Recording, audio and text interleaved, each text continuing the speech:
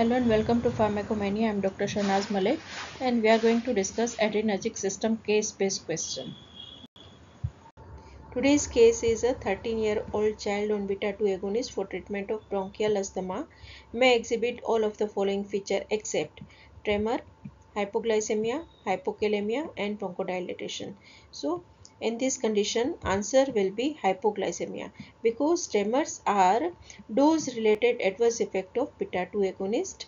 Hyperkalemia followed by hypokalemia is an important adverse effect of beta 2 agonist. Bronchodilation occur due to beta 2 agonist. So uh, uh, for therapeutic use of beta 2 agonist in bronchial asthma for the bronchodilation so answer is hypoglycemia because hypoglycemia doesn't occur due to beta 2 agonist. So answer is hypoglycemia